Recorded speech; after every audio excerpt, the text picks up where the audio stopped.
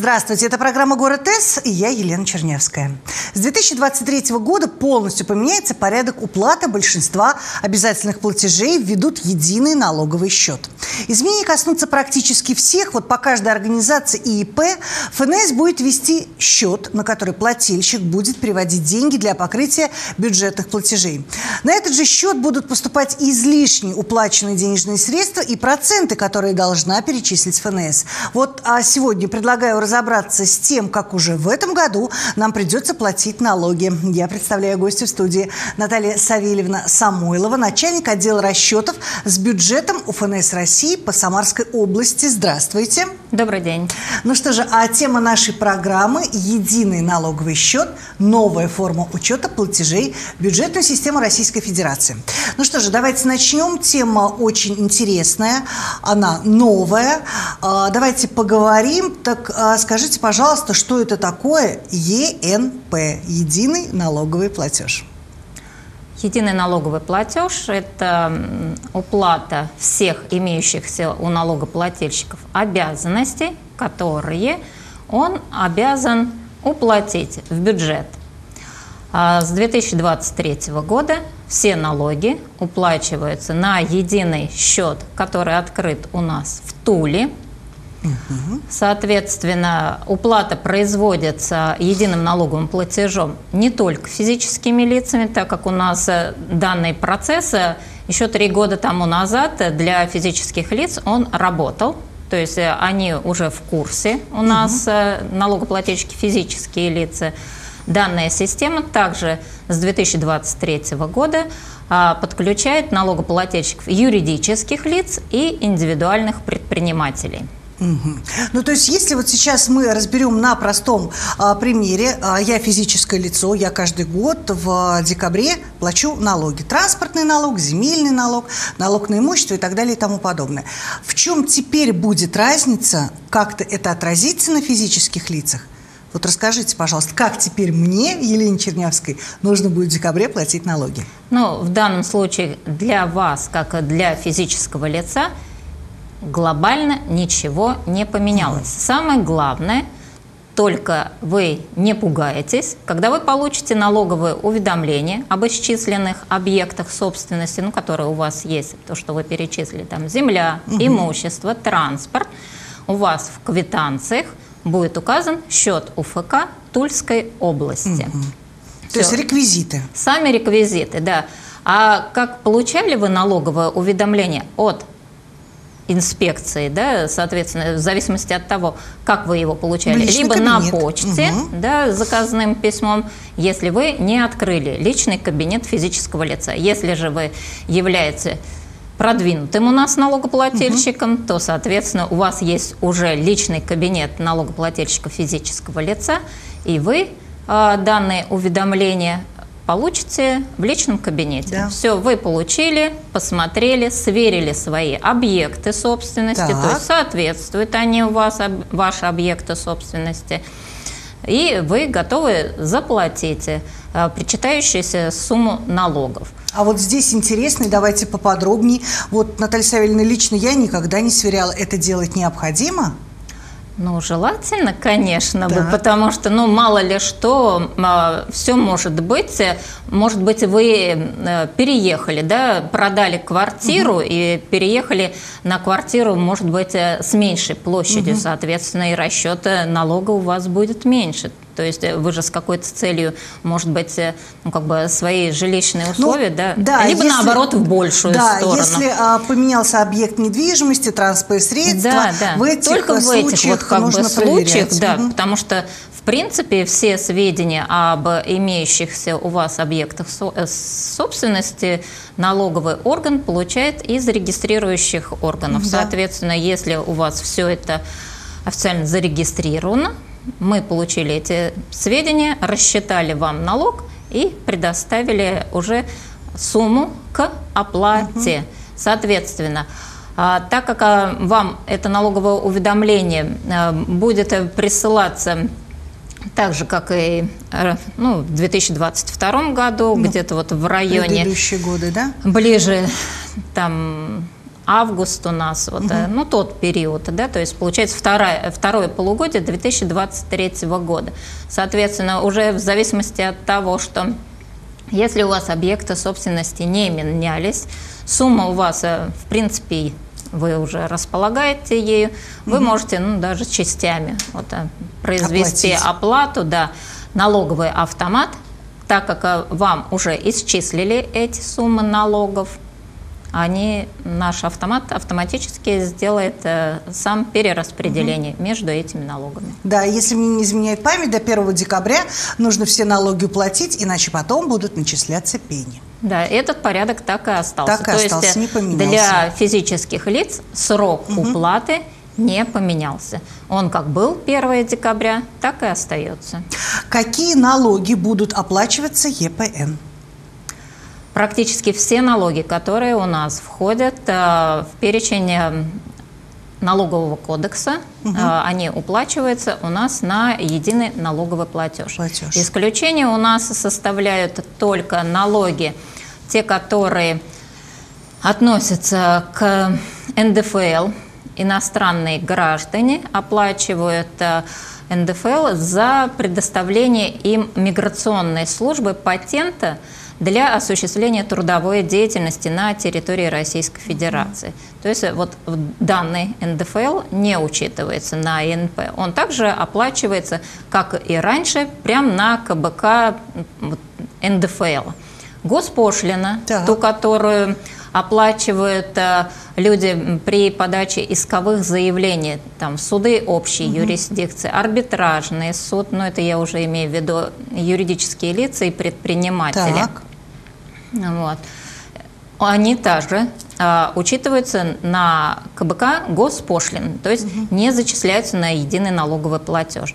Э, к ним также относится у нас утилизационный сбор, э, налог на профессиональный доход и э, те лицензии, которые налогоплательщик получает за э, осуществление сбор за пользование животного мира и угу. биологических ресурсов. Угу. То есть вот эти налоги, да, они оплачиваются на те же прежние КБК, ну, код доходов, а счет УФК все равно будет тульский. Угу. Вот. А данная информация у нас размещена на нашем сайте Федеральной налоговой службы. А, прям создана промо такая страничка ЕНС, то есть э, можно посмотреть э, сам порядок заполнения платежных поручений, перечень тех налогов, которые не относятся к единому налоговому платежу, и те э, перечни налогов, которые относятся к единому налоговому платежу. А скажите, пожалуйста, Наталья Савельевна, а что такое совокупная обязанность? И самое главное, расскажите, как ее определить? Ну, в налоговом кодексе у нас определено, что входит в совокупную обязанность. Это так. все расчеты. В данном случае сейчас вот мы а, переходим уже непосредственно на сдачу расчетов. Это индивидуальные предприниматели и юридические лица. Угу. Вот здесь юридические лица и предприниматели, они предоставляют в налоговый орган декларации, расчеты по разным видам налогов, Соответственно, по ним, может быть, проводились камеральные проверки, выездные проверки.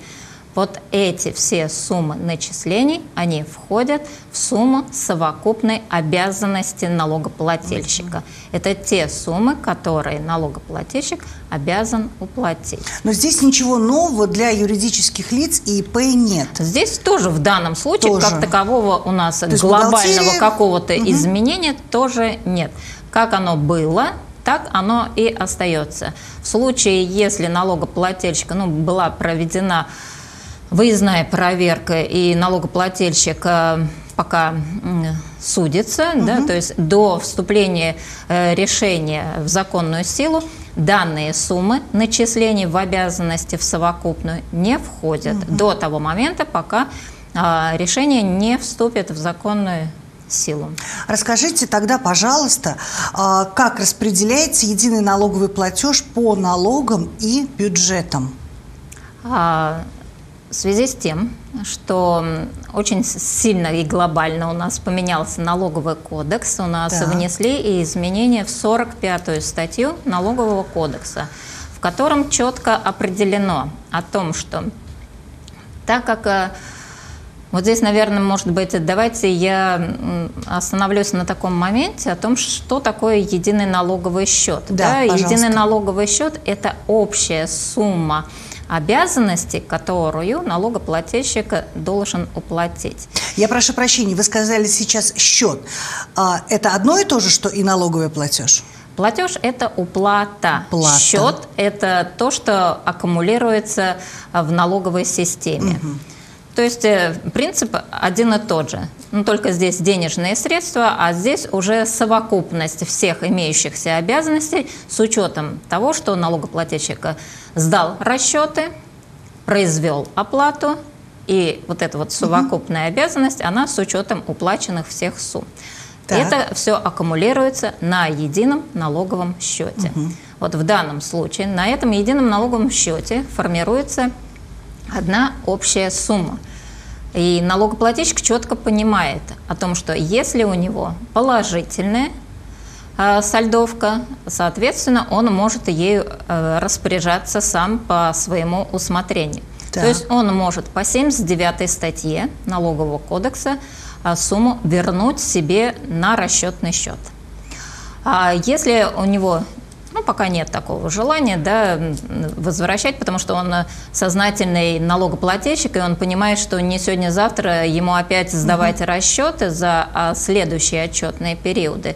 И, соответственно, а, и опять платить налоги, да, соответственно, он может в соответствии с 45, э, с, извините, угу. а, оговорилось 78 статьей Налогового кодекса, он может э, написать заявление – о зачете в счет предстоящих платежей какого-нибудь конкретного налога. То есть, так как эта сумма аккумулируется на едином налоговом платеже, и налоговая не знает, куда распределить.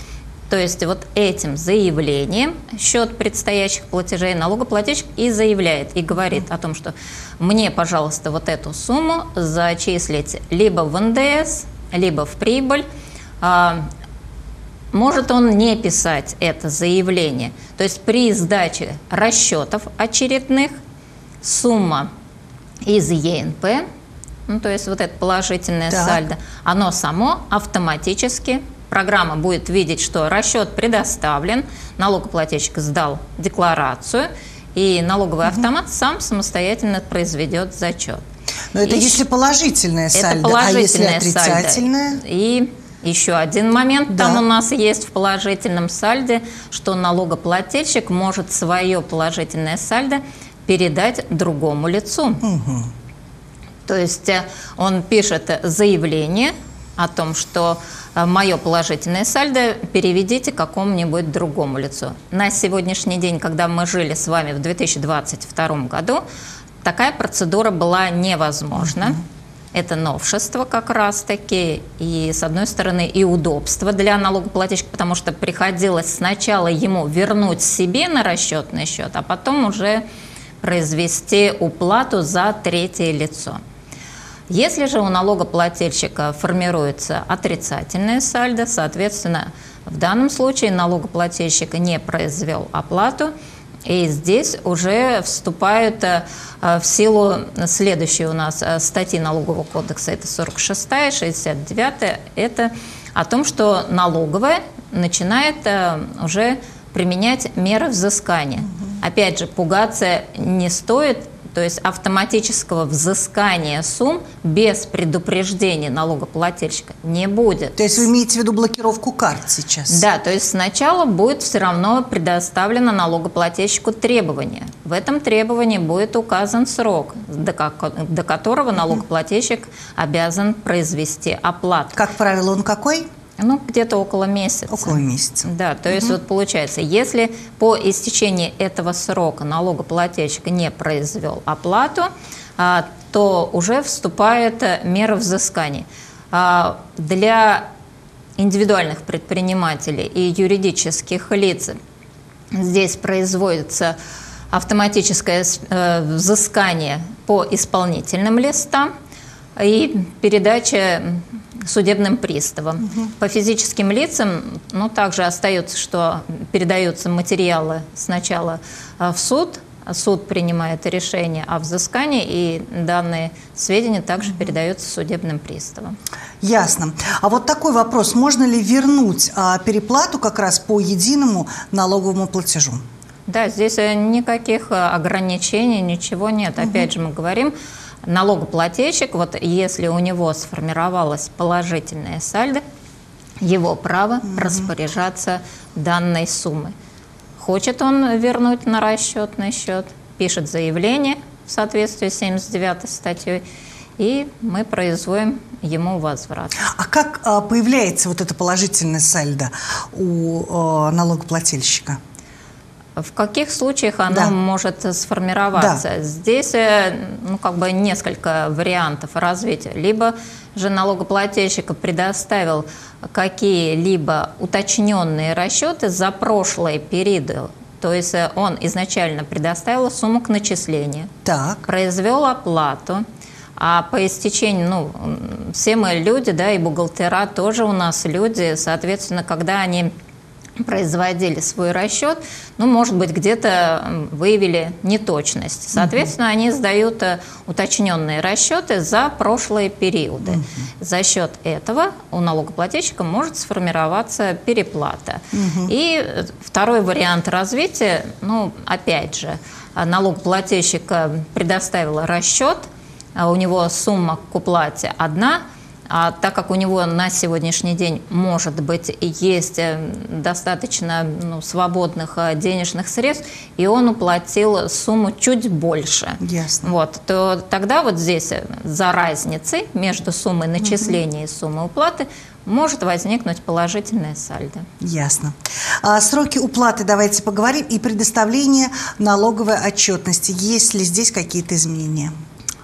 Да, у нас с 2023 года унифицируются все сроки. Угу. То есть налогоплательщики сдают расчеты по сроку 25 число, угу. а уплату производят 28 числа.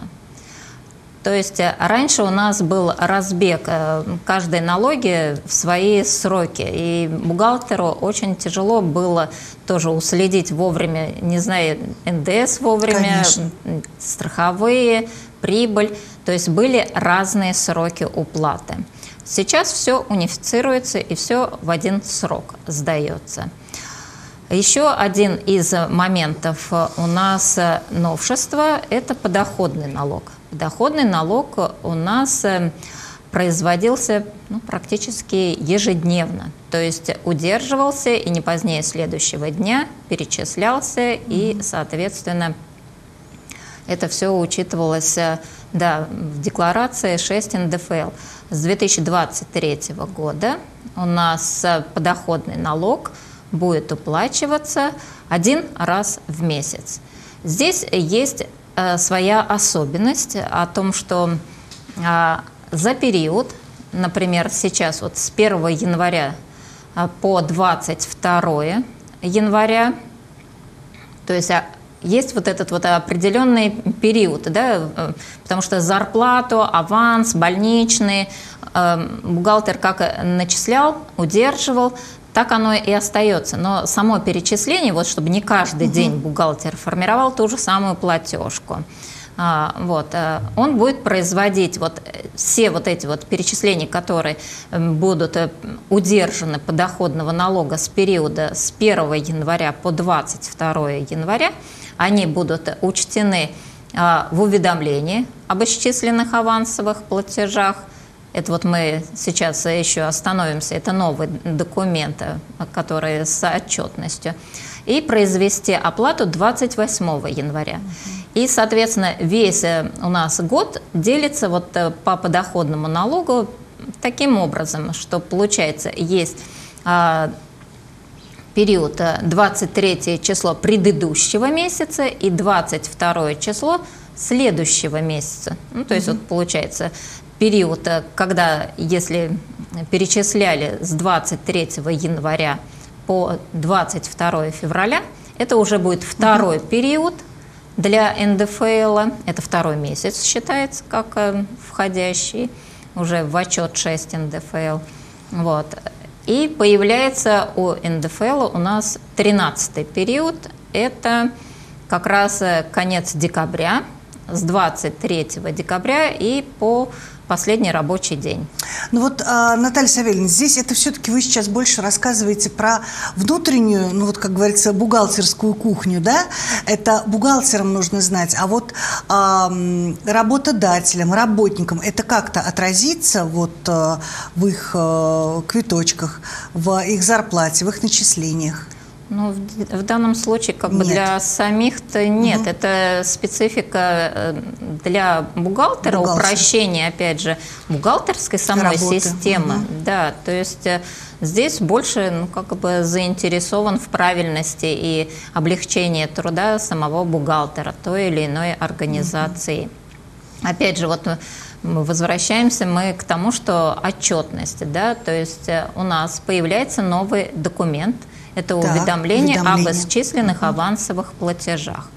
Данный документ, он предоставляется не по всем налогам. А этот документ предоставляется только по тем налогам, которые относятся к авансовой системе. Угу. То есть налогоплательщик, так как э, уплачивает заранее авансовые платежи ну, по таким налогам, как э, налог на имущество, транспортный, земельный налог. Это мы говорим, опять же, не про физических лиц, а про юридических, лиц. Угу. Вот. А, НДФЛ, упрощенная система налогообложения.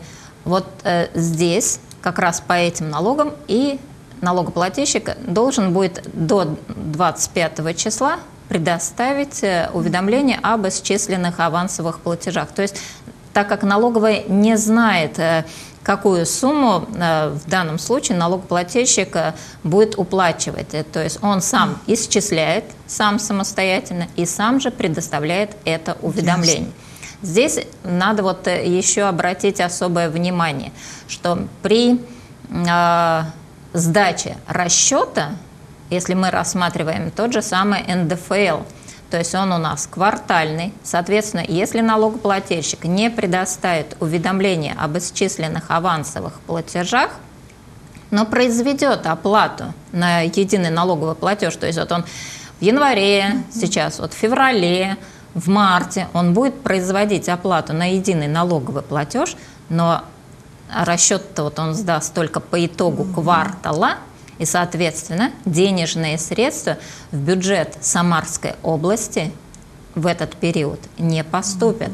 Поэтому а здесь вот э, именно важно, да, подавать важно, вот да, это подать это уведомление э, для своевременного зачисления денежных средств и не как это, не попасть на штрафы, да, потому что в случае угу. непредоставления уведомления об исчисленных э, платежах по 126 статье Налогового кодекса будут начисляться Но это каждый штрафы. грамотный бухгалтер знает, верно же? Конечно. Да? Ну, мы на это надеемся, потому что система не только вчера родилась. То есть э, все бухгалтера у нас э, продвинутые люди, и уже в преддверии так как мы с вами уже практически уже, и да? новшеств, и то, что угу. мы уже с вами, можно сказать, неделю мы прожили с единым налоговым угу. счетом. То есть у нас есть обратная связь а, с бухгалтерами, те, которые сейчас вот в этот период а, с 9 января по 13 января, но связывались угу. с нами, да, были как бы особенности, да, по поводу э, перечисления вот платежей, и так как нам тоже на нашей стороне было интересно знать, а как же они все-таки да. видят, то есть в их учетной программе на сегодняшний день да, реализована такая угу. возможность, что они автоматически формируют эту платежку на уплату единого налогового платежа автоматически. То есть им не надо забивать какие-либо дополнительные еще реквизиты. Угу. Ну да, у нас э, вот здесь я, может быть, э, как бы остановлюсь на том, что а, в программе было заложено о том, что в коде ОКТМО должен быть ноль. Но на сегодняшний день пока программа на стороне банков ну, не, не совсем вот, угу. была доведена до как бы, Идеала, заключения. Да? да, и поэтому а, некоторые банки, они просят в поле код ОКТМО проставлять э, именно восьмизначный знак. Поэтому здесь пугаться не стоит. Мы уже посмотрели по некоторым налогоплательщикам, которыми производили вот такую уплату, то есть в поле кода ОКТМО, да, они поставили КБК единого налогового платежа, код ОКТМО поставили 8 знаков, угу. банковская система их пропустила, и наша система их восприняла. Ясно. Ну что же, а наше время подошло к концу. А, хочется подвести итог нашему сегодняшнему разговору. Так вот, что а, из вышесказанного сегодня вами а, в конце программы нужно выделить в главное, главные новшества и о чем нужно помнить, чтобы, как вы совершенно верно сказали, не попасть на штрафные санкции, пожалуйста. Но это, опять же, мы повторимся, да, угу. о том, чтобы налогоплательщик своевременно сдавал уведомления об исчисленных авансовых платежах, соответственно, своевременно платил налоги, срок 28 число каждого месяца. Раньше времени э, то, что сейчас многие вот попытались произвести оплату вот в первые вот эти вот э, недели, у вас срок 28 января, если мы говорим про подоходный налог. Раньше времени не стоит да. торопиться, пока платить. Оставьте у себя пока. Спасибо вам большое. А, спасибо всем тем, кто был сегодня с нами. Я надеюсь, что ответы, которые озвучил мои сегодняшние гости, были для вас исчерпывающими. Всего хорошего. До свидания. Спасибо.